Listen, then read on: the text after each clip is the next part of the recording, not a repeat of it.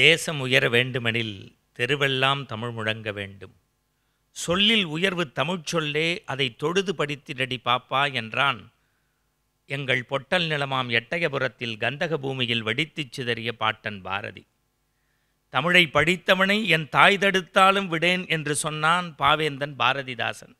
சின்ன சின்ன நடை நடந்து செம்பவட வாய் திறந்து அம்மா என்று நீ அடைத்தால் அமுதகானம் பேசுமடா என்று சொன்னான் மாட்டு வண்டி போக முடியாத இடத்திற்கு கூட பாட்டு வண்டியால் பயணப்பட்ட தடுமாறும் போதையிலும் கவிபாடு மேதையவன் எங்கள் கண்ணதாசன். பாரதி பாரதிதாசன் கண்ணதாசனின் நாவலில் வந்த தமிழே எங்கள் எழுவர் நாவிலும் இந்த தித்திக்கும் தீபாவளி திருநாளில் நீ வந்து அருள்தாய் என்று உன்னை மண்டியிட்டு வணங்குகின்ற ஒரு கோயில் கட்டினால் இந்துவுக்கு மகிழ்ச்சி ஒரு மசூதி கட்டினால் ஒரு இஸ்லாமியருக்கு மகிழ்ச்சி ஒரு தேவாலயம் கட்டினால் ஒரு கிறித்துவருக்கு மகிழ்ச்சி. ஆனால் ஒரே ஒரு மனிதனை தித்திக்கும் தீபாவளி திருநாளில் சிரிக்க வைத்து சிந்திக்க வைத்தால் நம்மை படைத்த கடவுளுக்கே மகிழ்ச்சி என்று நம்புகின்றவன். அன்புக்குரியவர்களே நான் இன்றைக்கு நினைத்து பார்க்கின்றேன் ரைட் சகோதரர்களுடைய ரசனை விமானத்தை கண்டுபிடித்தது. ராஜ் சகோதரர்களுடைய ரசனை ராஜ் டிவி என்கின்ற ஒன்றை மக்களுக்கு தந்து ரசனையோடு நிகழ்வை வழங்கிக் கொண்டிருக்கிறது. விண்ணிலிருந்து மண்ணிற்கு புதுமைகளை படைத்து உலகெங்கும் வண்ண கோலங்களை தரக்கூடிய இந்த ராஜ் தொலைக்காட்சியினுடைய உலகப்பந்தில் வாழக்கூடிய அத்தனை நல்ல உள்ளங்களுக்கும் நெஞ்சம் நிறைந்த தித்திக்கும் தீபாவளி திருநாட்களை எங்களுடைய நிகழ்ச்சி தயாரிப்பாளர்கள் விளம்பரதாரர்கள் தொழில்நுட்ப கலைஞர்கள் ராஜ் சகோதரர்கள் சார்பாக நெஞ்சம் நிறைந்த கைத்தட்டல்களோடு உங்களுக்கு காணிக்கையாக்குகிறேன். நான் நினைத்து பார்க்கின்றேன். இந்தியாவில் எத்தனையோ விழாக்கள் உண்டு. இந்துக்களுக்கென்று சில விழா உண்டு இஸ்லாமியருக்கென்று உண்டு கிறிஸ்தவர்களுக்கென்று உண்டு. ஆனால் இந்தியர்களுக்கான விழா எது என்று கேட்டால் இந்த தீபாவளி திருநாள். குன்றக்குடி அடிகளார் ஆயிரத்தி தொள்ளாயிரத்தி எண்பதில் அறிக அறிவியல் என்கின்ற புத்தகத்தில் எழுதுகின்றார் தீபாவளி தலையங்கத்தில் நீ வீட்டுக்குள் இருக்கின்ற போது இந்துவாக இரு வீட்டுக்குள் இருக்கின்ற போது இஸ்லாமியனாக இரு வீட்டுக்குள் இருக்கின்ற போது கிறித்துவனாக இரு. சமுதாயம் என்கின்ற வீதிக்குள் வருகின்ற போது இந்தியன் என்கின்ற உணர்வோடும் உலகத்தை பார்க்கின்ற போது மனிதர் என்கின்ற உணர்வோடும் மத்தாப்பை பொறுத்து அது புஸ்வானமாக பொங்கும். இந்த நாடு ஒளி வெள்ளத்தில் பரவும் என்றார். அதையே உங்களுக்கு வாழ்த்துச் செய்தியாக பரவு செய்கின்றேன். இன்றைக்கு தொலைக்காட்சி தோறும் பட்டிமண்டபம் இருக்கும். ஆனால் அங்கு நடப்பதெல்லாம் ஆனா பெண்ணா கணவனா மனைவியா சட்டப்பையா சாவி கொத்தா ஆனால் இங்கே இருப்பது கம்பனடிப்படி சா. கணேசனும் ஜஸ்டிஸ் இஸ்மாயிலும் அவ்வை நடராஜனும் ஆசா ஞான சம்பந்தமும் சத்தியசீலனும் பா நமச்சிவாயமும் இந்த மண்ணில் எவ்வளவு அறத்தோடும் தரத்தோடும் சிரிப்போடும் சிந்திப்போடும் இருக்க வேண்டும் என்று நினைத்தார்களோ அப்படி வார்த்தை சித்தர் வளம்புரி ஜானினுடைய ஆவி இந்த ஆறு பேருக்குள்ளும் வந்து ஆறு முகமாகி உங்களுடைய இதயங்களை கவர்வதற்காக வந்திருக்கிறார்கள். உலகத்து நேயர்கள் சார்பாக இந்த ஆறுவருக்கும் எங்களுடைய நெஞ்சம் நிறைந்த தீபாவளி வாழ்த்துக்கள். தீபாவளி என்கின்ற வட சொல்லுக்கான தமிழ் சொல் என்ன தெரியுமா? விளக்கீடு என்பதுதான் பொருள். வரிசையாக விளக்கிட வேண்டும். இதோ இப்போது இந்த அரங்கத்தில் எத்தனை விளக்குகள் அங்கும் இங்கும் இந்த விளக்கு எதை நமக்கு விளக்கிச் சொல்கின்றது? இருட்டில் பயணப் போகின்றோம் இது மேடு இது பள்ளம் இது கயிறு இது பாம்பு என்று இருட்டிலிருந்து எப்படி வெளிச்சம் நமக்கு வாழ்க்கையை கற்றுத்தருகிறதோ அதுபோல இந்த தித்திக்கும் தீபாவளியில் நம்முடைய அக இருளையும் புற இருளையும் இல்லத்து இருளையும் அகற்றி ஒளி வெள்ளத்தில் நாம் மிதப்பதற்கு நல்லெண்ணெயால் தீபம் ஏற்றுவதை விட பெண்களே நீங்கள் நல்லெண்ணெயால் தீபம் ஏற்றுவதை விட நல்ல எண்ணங்களால் தீபம் ஏற்றுங்கள். தமிழ்நாடு ஓங்கி உயரும் என்பதுதான் என்னுடைய அசைக்க முடியாத ஆசை. பஞ்சபூத சேர்க்கை மண்ணும் விண்ணும் நீரும் நெருப்பும் காற்றும் என்பார்கள். அதில் முக்கியமானது இந்த நெருப்பு. அதனால்தான் தீபத்தை ஏற்கின்ற போது மேலே நோக்கி தீபம் செல்கிறது. மனித வாழ்க்கை மேலே மேலே உயரே உயரே ஆகாயத்தை தொட வேண்டும் என்பதனுடைய அடையாள சின்னம்தான் இந்த தீப ஒளி. நரகாசுரன் என்கின்ற அரக்கன் மக்களை அச்சுறுத்தியதனால் அவனை அடித்து அவனுடைய இந்த நாளை நாமெல்லாம் எண்ணெய் தேய்த்து குளித்து அவன் இறந்த நரகாசுரன் இறந்த இந்த நாளில் எண்ணெய் தேய்த்து குளித்து புத்தாடை உடுத்தி பட்டாடை அணிந்து அத்தோடு மட்டுமல்லாமல் பட்டாசை கொளுத்தி இனிப்புகளை பரிமாறி இதயங்களை தன் வீட்டிலிருந்து எதிர் வீட்டுக்கு கொடுத்து ஆரோக்கிய கைகுலுக்கி எல்லோரும் கொண்டாடி காலையில் மட்டுமல்ல மாலையில் கூட குபேரே பூஜையும் குபேர பூஜையும் மகாலட்சுமி பூஜையும் செய்து இந்த மண்ணும் மக்களும் நன்றாக இருக்க வேண்டும் என்று உலகம் கொண்டாடக்கூடிய ஒரு ஒப்பற்ற திருவிழா இந்தியர்களுடைய பெருவிழா இந்த தீபாவளி திருநாள். இந்த தீபாவளி திருநாளில் ஒரு ஆரோக்கியமான அர்த்தபுஷ்டியான ஒரு பட்டிமண்டபத்தை ராஜ் டிவி ஒரு சிற்பத்தை செதுக்குவதைப் போல செதுக்கி செதுக்கி உருவாக்கி இருக்கிறார்கள். இதோ இந்த பேக்ட்ராப்பு எத்தனை ரசனை எத்தனை கலைஞர்கள் இரவு பகல் பாராது செய்திருப்பார்கள். ரசனை வளர்கிறதா தளர்கிறதா என்கின்ற தலைப்புக்குள் போவதற்கு முன்பு எது ரசனை? குளிப்பது ரசனை.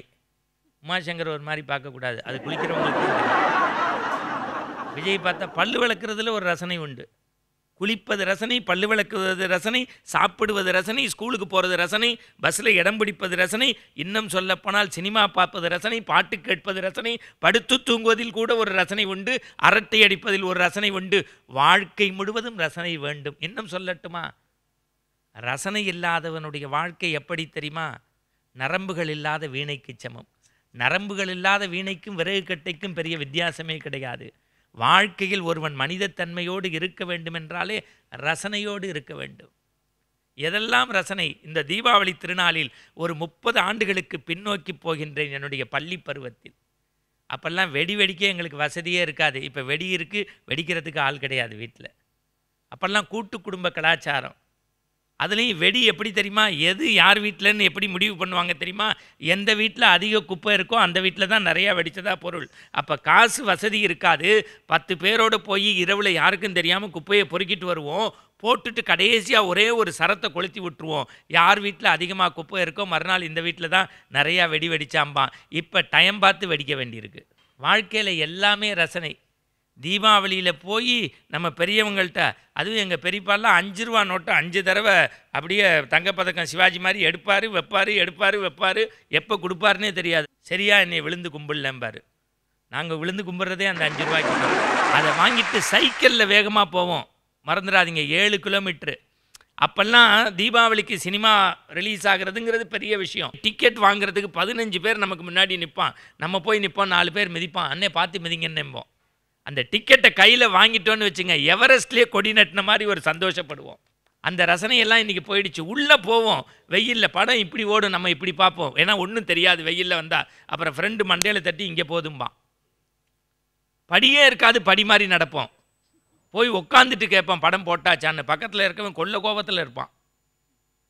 அந்த இடையில அந்த தீபாவளி பலகாரங்களை திருட்டுத்தனமாக பையில் போட்டு எடுத்துட்டு வந்து அந்த இடைவேளையில் சாப்பிடும்போது சக்கரவர்த்தி திருமகனும் பாகப்பிரிவினையும் பாசமலரையும் பார்த்து வளர்ந்தவங்க நாங்கள் இப்போ மிர்ச்சி விஜய்லாம் குக்கு குக்கு குக்கு அந்த சின்ன வயசில் நான் நினச்சி பார்க்குறேன் சார். ரசனைன்னா எது தெரியுமா சார்? நொங்கு சாப்பிட்டோம்ல அது ரசனை சார். அது ஒரு வண்டி ஓட்டினோம்ல அது ரசனை சார். கிரிக்கெட் விளையாடுறதுக்கு வசதியே இருக்காது சார். கல்லில் பேப்பர் வச்சு அந்த டியூப்பை கட் பண்ணி பந்து மாதிரி போட்டு விளையாடுவோம் சார். பெருங்காய டப்பாவை எடுத்து விளையாடுவோம் சார். அட மழை பெஞ்சால் அதுதான் சார் எங்களுக்கு கூட. அதையே பேட்டாக இருப்போம் சார். அது சந்தை. என் பையவே டிபார்ட்மெண்ட் ஸ்டோர் மாதிரி வச்சுருப்பேன். பீஸா போன பல்பு தார் உருண்டை அந்த உருண்டை. ஒரு பம்பரத்தை காணுன்னு எட்டு நாள் அழுதுருக்கேன் நான் எங்கள் அம்மாட்ட. வைக்கோ கூட கவலைப்படல நான் அப்படி கவலைப்பட்டேன் பம்பரத்தை. இதெல்லாம் புரிஞ்சாதான் ஆடியன்ஸ் சிரிக்க முடியும். புஸ்தகத்துக்கு நடுவில் மயில் வச்சு அரிசி போட்டேன் குட்டி போடும் செனையாக இருக்கும்பாங்க ஒரு நாள் மயில் குட்டி போட்டதில்லை. ரெண்டு தீப்பெட்டியை நூல் கட்டி ஃபோன் மாதிரி பேசுவோம். ஆனால் இப்போ அன்றைக்கி பார்க்குறேன் ஒரு அம்மா ரெண்டு ஃபோன் வச்சுருக்கு. என்னம்மாண்ணே இது ஹஸ்பண்ட் ஒன் இது ஹஸ்பண்ட் டூன்னுச்சு எனக்கு ஹார்ட் அட்டாக்கே வந்துருச்சு. நீங்கள் பாருங்கள் எப்படியெல்லாம்? சார் தஞ்சை பெருவுடையார் கோவிலும் சீன பெருஞ்சுவரும் தாஜ்மஹாலும் ரசனை தான் அதைவிட ரசனை இளம் வயதில் நாங்கள் மறந்து விடாதீர்கள். மணல் வீடு கட்டி கிச்சு கிச்சு தாம்பாளம் விளையாண்டமே அந்த ரசனை இன்றைக்கும் எங்களுடைய இதயத்தில் நிழலாக போய் கொண்டிருக்கிறது. எது எல்லாம் ரசனை? ஏஆர் ரஹ்மான் பாட்டு கேட்பது ரசனை இதயராஜா பாட்டு கேட்பது ரசனை பத்மா சுப்பிரமணியன் நடனம் பார்ப்பது ரசனை சித்ரா விஸ்வேஸ்வரன் நடனம் பார்ப்பது ரசனை ரசனை மனிதனுக்கு மனிதன் மாறுபடும். அந்த ரசனை இன்றைக்கு வளர்கிறதா தளர்கிறதா என்கின்ற ஒரு ஆரோக்கியமான அர்த்தபுஷ்டியான பட்டி மண்டபத்தை இன்றைக்கு ராஜ் டிவி அறத்தோடும் தரத்தோடும் செய்திருக்கிறார்கள்.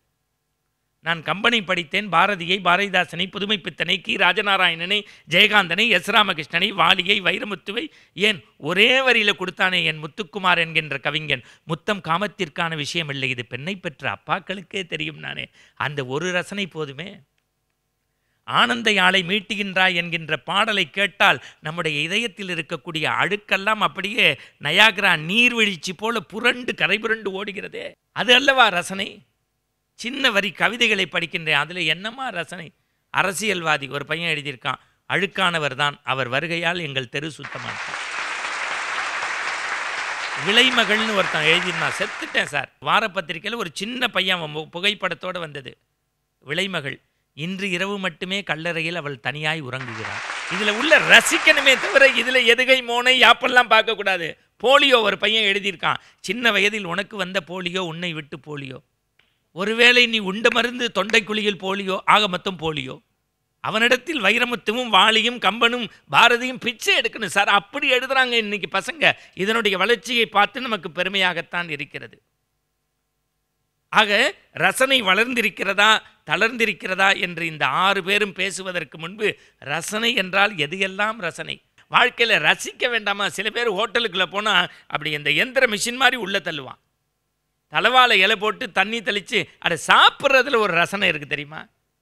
ஒன்றுமே வேண்டாம் சார். நீங்கள் ஆயிரம் ஹோட்டலில் போய் ஸ்டார் ஹோட்டலில் சாப்பிட்றத விட நம்ம வேர்க்க விறுவிறுக்க விளையாண்டுட்டு வந்துட்டு கை கால் கழுவிட்டு நம்ம அம்மா பக்கத்தில் திட்டு வாங்கிட்டு அந்த பழைய சோத்தில் தண்ணி ஊற்றி உப்பு வாயில் படுற மாதிரி வச்சு அதை புளிஞ்சு நடுவில் ஒரு சின்ன வெங்காயமோ மாவுடோ ஒரு வத்தலோ மிளகாவோ வச்சு கொடுக்கும்போது அது அமிர்தத்துக்கு இணையாக இருக்கும் சார். அதை சாப்பிட்டு பார்த்து ரசித்தவனுக்கு தான் சார் அது தெரியும்.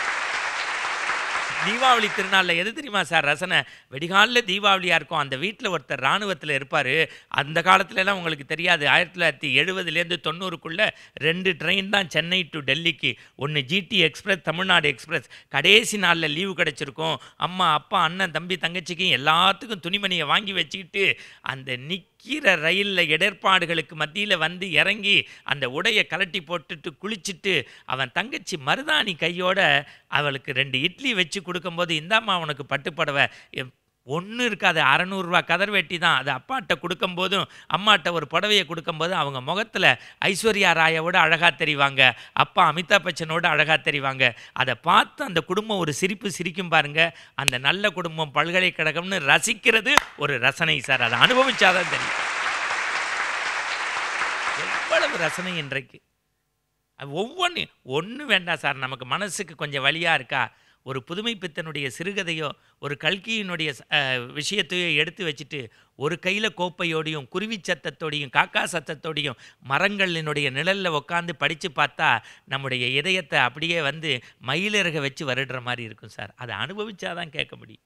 சூலமங்கலம் சிஸ்டர்ஸோட கந்தசஷ்டி கவசத்தை கேட்டாலே காலைல அந்த வீட்டில் அப்படியே புலர்காலையே பொழுதுகிற மாதிரி இருக்கும்.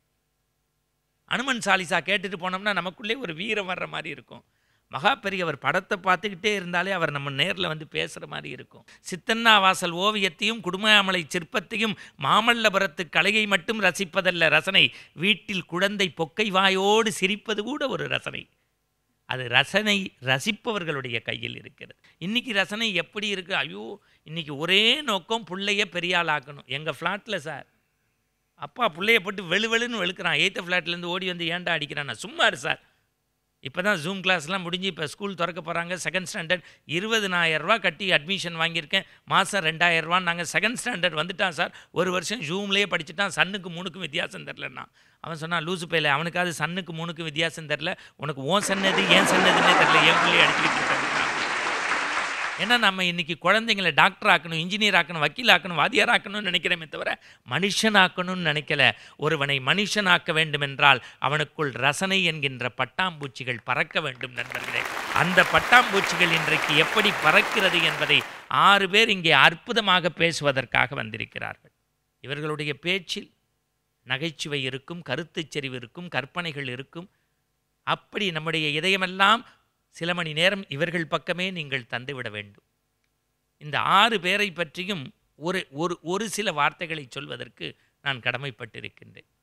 இன்றைய நிலையில் ரசனை தளர்ந்து போயிருக்கிறது என்கின்ற அணியை அணி சேர்ப்பதற்காக வந்திருக்கக்கூடியவர் என்னுடைய அருமை சகோதரர் நம்முடைய அன்பு தம்பி ரவிக்குமார் அவர்கள்.